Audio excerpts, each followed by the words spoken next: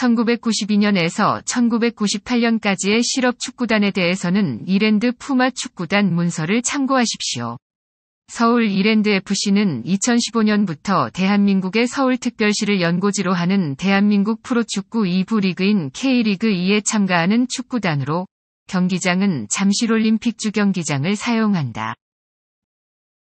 2014년 4월 9일에 이랜드 그룹에서 창단 관련 보도자료를 배포하였으며 4월 14일에 공식 창단 발표 기자회견과 함께 창단의 향서를 한국 프로축구연맹에 제출하였다. K리그 2019 시즌 홈경기장 확보에 어려움을 겪고 임시 홈구장을 천안 종합운동장을 사용하기도 하였다. 2014년 4월 9일 이랜드그룹은 보도자료를 통해 서울연고 프로축구단을 창단한다고 밝혔다. 4월 14일에는 공식 창단 발표 기자회견과 함께 창단의 향서를 한국 프로축구연맹에 제출하였다. 5월 1일 서울특별시와 연고지 협약을 체결하고 본격적인 창단 준비에 들어갔고 16일에는 팬들을 대상으로 팀명과 팀의 상징, 팀 컬러에 대한 공모를 시작하였다. 7월 17일 메이저리그 사커 밴쿠버 화이트캡스에서 감독을 맡았던 마틴 레니를 초대 감독으로 선임하였다. 8월 22일 한국 프로축구연맹의 창단 승인이 완료되었으며 8월 26일 구단 명칭을 서울 이랜드 FC로 확정하였다. 2015년 2월 7일 서울 강남구 대치동 SETEC 컨벤션 센터 1층에서 이루어진 팬포럼에서 구단 엠블럼을 공개하였다. 2015년 3월 29일 홈 경기장인 서울올림픽 주경기장에서 FC 안양을 상대로 창단 후 첫 공식 경기를 치렀으며 4월 11일 열린 2015 FA컵 3라운드에서 선문대학교를 상대로 공식 경기 첫 승을 거두었고 5월 2일 수원 FC와의 원정 경기에선 리그 첫 승을 챙겼다. 이후 주민규, 타라바이 등의 활약으로 리그 상위권을 유지하였으나 하반기에 주춤하여 정규리그를 4위로 마감하였다. 정규리그 종료 후 진행된 승격 플레이오프에서 정규 시즌 3위인 수원FC를 만났으나 3에서 3무승부로 경기를 마쳐 정규 시간 동안 무승부 시 정규리그 상위팀이 상위 플레이오프 라운드에 진출한다는 규정에 의해 플레이오프에서 탈락하며 첫 시즌을 마감하였다. 이듬해에는 수비 위주의 축구를 구사하는 모습을 보였고 팀이 6위로 처지며 승격권에서 멀어지자 2016년 6월 15일 마틴 레니 감독을 전격 해임하였다. 서울 이랜드 FC는 2대 감독으로 축구 국가대표팀 코치를 역임했던 박건아를 서울 이랜드의 새 감독으로 선임하였다. 39라운드 대전전 승리 이후 6연승을 달리며 상승세를 타는 듯 했지만 최종전에서 붙은 부산 아이파크에게 득실차 1점으로 아쉽게 밀리며 리그 6위를 기록하였고 끝내 플레이오프 진입에 실패하였다. 2017 시즌을 앞두고 공식적으로 영입을 발표했던 외국인 빅토르 아키노와 파블로 루이스 모두 최종적으로 영입이 취소되는 불상사가 발생하기도 했다. 2016년 12월 23일 서울 이랜드 2대 대표이사로 한만진 대표가 선임되었다. 새로운 대표이사의 선임과 함께 2017년 1월 9일 박건아 감독이 사임하고 영남대학교 감독 출신 김병수가 감독으로 내정되었다. 3월 5일 부천FC 1995와의 리그 첫 경기를 통해 김병수는 프로팀 감독 데뷔전을 치렀으나 1대2로 패했고 이 경기를 포함해 내리 3연패를 하며 불안한 출발을 보였다. 4라운드에서 신생팀 안산 그리너스 FC를 상대하여 1대 0으로 이기면서 시즌 첫 승과 함께 김병수의 프로 첫 승을 신고했다. 5월 3일 10라운드 성남 FC를 상대로 2대 0 승리를 거두며 첫 원정 승리를 따냈다. 그러나 14라운드 안산전 승리 이후 9경기 연속 무승을 거두며 어려운 시기를 보냈다. 24라운드 부천을 상대로 4대1 승리를 시작으로 연달아 대전, 아산, 그리고 리그 1위 팀 경남까지 무너뜨리며 4연승을 내달리기도 하였다. 그러나 그 이후 승리를 다시 쌓는 데에 실패하며 구단 역사상 최저 승점과 함께 일찍이 K리그 승격 플레이오프에 대해서는 탈락의 고배를 마셔야 했다. 그럼에도 구단에서는 김병수 감독에 대한 신뢰를 보내며 K리그 챌린지 2018 시즌에도 함께 한다는 의지를 표명했다. 11월 17일 김병수 감독과 한만진 대표이사가 동반 사임하였고 새로운 대표이사로 김현수 이랜드파크 대표가 선임되었다. 김병수 감독은 본래 프리미어리그 견학 및 유럽 연수 등 새 시즌에 대한 준비를 발빠르게 진행하고 있었으나 새로운 대표이사가 선임되면서 16일 오후 갑작스럽게 계약 해지에 이르게 된 것이다. 다만 김병수 감독에 대해 신뢰를 보내기는커녕 당장의 성적에 압박을 부여한 것에 비판이 있다. 구단 내 예산이 부족한 만큼 김병수 감독은 비용이 적게 드는 대학 무대를 위주로 스카우트하면서 시간을 두고 2019년 승격을 목표로 해야 한다 주장했다. 하지만 그룹과 구단에서는 당장 2018년 승격을 요구했고 이와 같은 결과를 얻지 못하자 사실상 경질의 수순을 밟게 된 것이다. 더불어 선수단 영입 과정에서도 김병수 감독의 권한은 보장되지 않았고 구단 수뇌부에 의해 꾸려진 경우가 많았다. 심지어 구단에게 주어진 운용 자금은 20억 원에 그치는 수준이었고 이마저도 김병수 감독이 사용할 수 있는 것이 아니었다. 일례로 알렉스 영입권에 있어서도 감독의 권한이 아닌 구단 수뇌부에 의해 영입된 것이었다.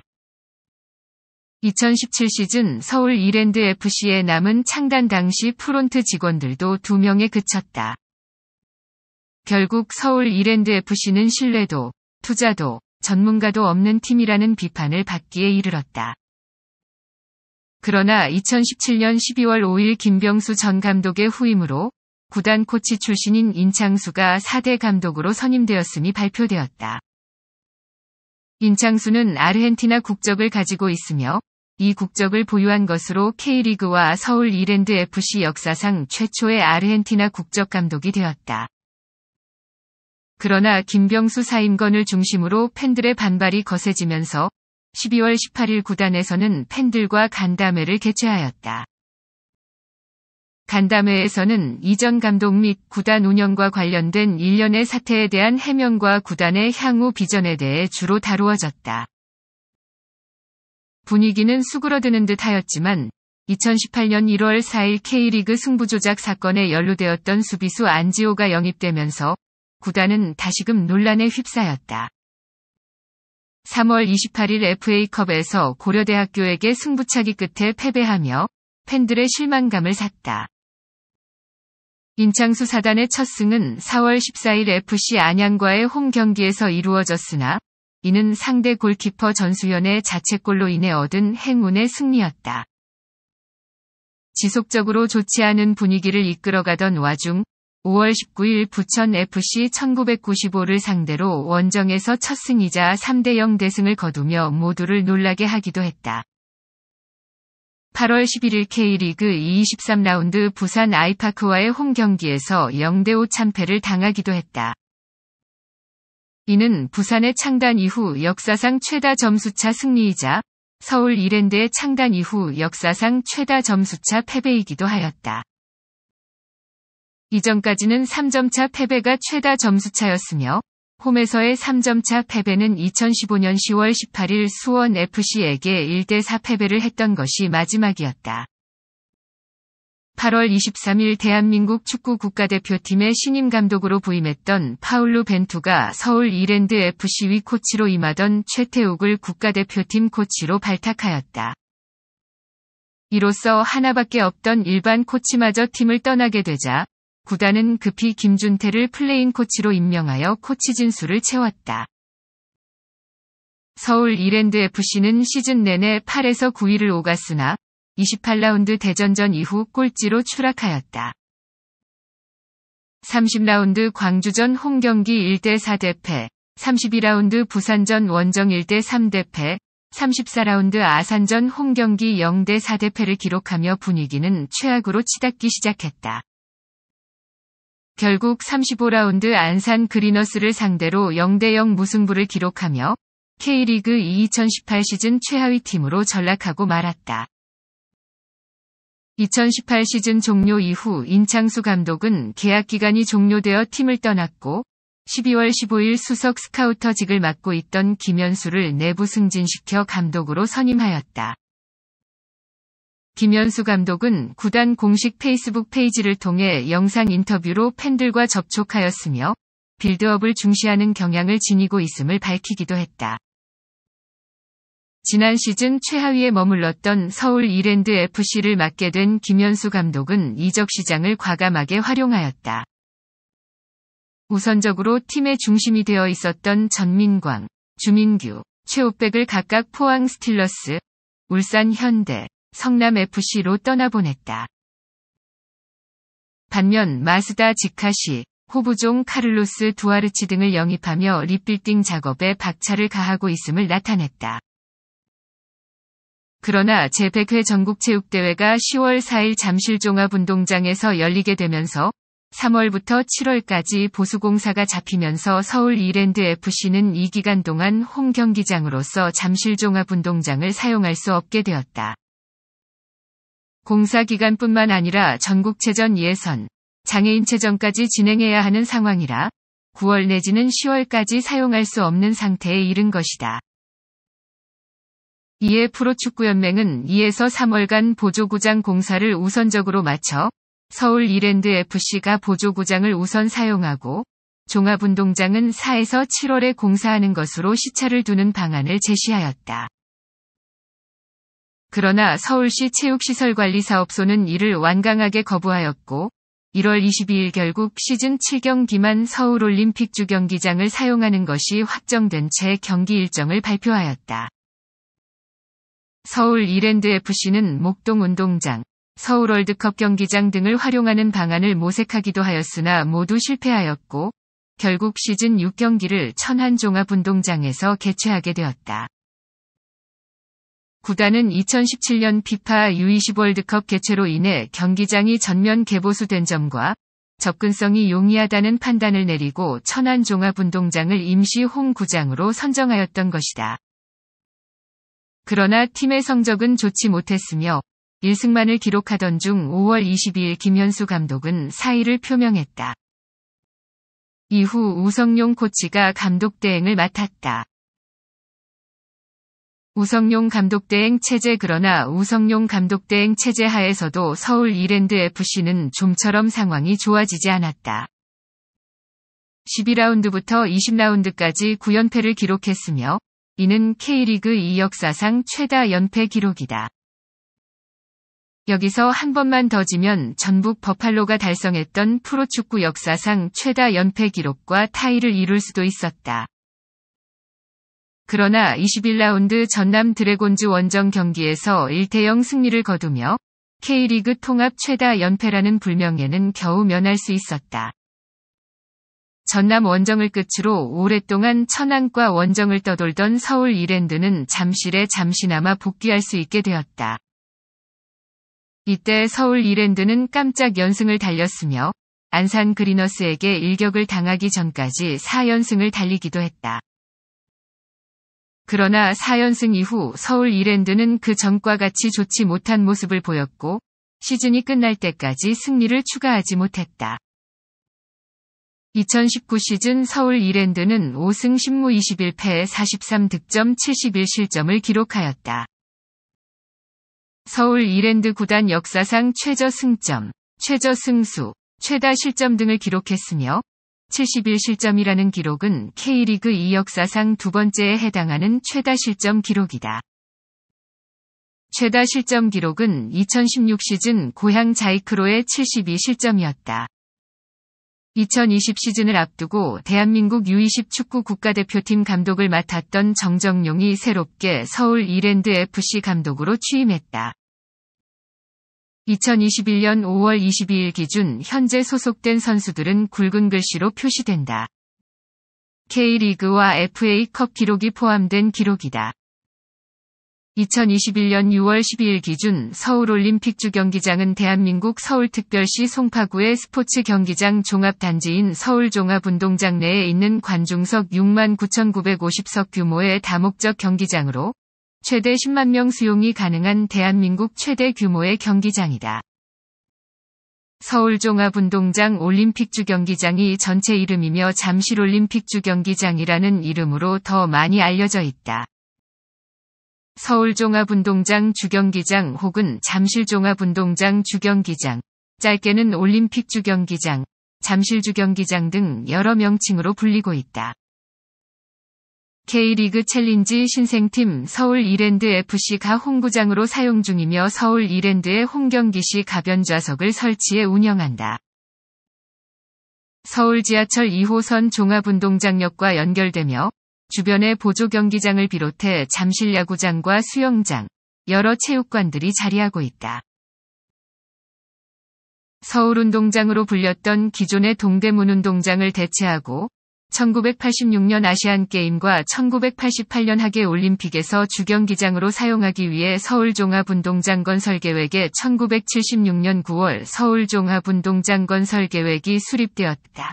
같은 해 11월 공사 계약이 체결되고 실제 공사는 1977년 11월 28일에 착공하였으며 12월 20일에 구자춘 당시 서울시장 등이 참석한 기공식을 가졌다. 그해 기초지주공사를 시작으로 1978년 11월 실제 경기장 건축물 본공사에 착수하였으며 건립 당시에는 남서울운동장으로 불리었으나 1978년 서울종합경기장으로 개칭되었다. 1984년 9월 29일 하오 1시 20분 국내외 귀빈들이 참석한 가운데 테이프 커팅과 함께 화려한 개장식을 가지며 공식 개장하였다. 서울 월드컵 경기장이 건설되기 전까지 대한민국 축구 국가대표팀이 월드컵 예선 등 주요 A매치를 개최한 대한민국 축구의 성지이기도 했다. 현재 서울 국제 마라톤을 비롯한 각종 육상 경기와 축구 대회, 대형 콘서트 등이 열리고 있다.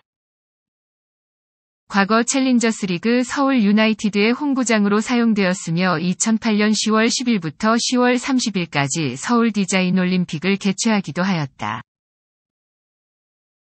2159개의 좌석을 갖춘 보조 경기장은 주 경기장과 유사하게 105 곱하기 70m 크기의 천연 잔디와 400m 곱하기 8레인의 육상 트랙이 마련되어 있다. 주경기장과 같이 완공되었으며 28억 원의 공사비가 소요되었다. WK리그 서울시청 여자축구단의 홈경기장으로 쓰이고 있다.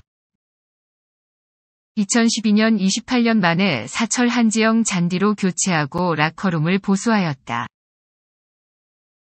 1984년 9월 30일 한일 정기전이 개최된 이후 대한민국 축구 국가대표팀이 월드컵 예선 등 주요 A매치를 개최한 대한민국 축구의 성지로 자리 잡았으며 2000년 5월 28일에 유고슬라비아 축구 국가대표팀과의 경기를 마지막으로 중단되었다가 2013년 7월 28일에 개최된 2013년 EAFF 동아시안컵 한일전으로 국가대표팀 축구 경기가 재개되었다.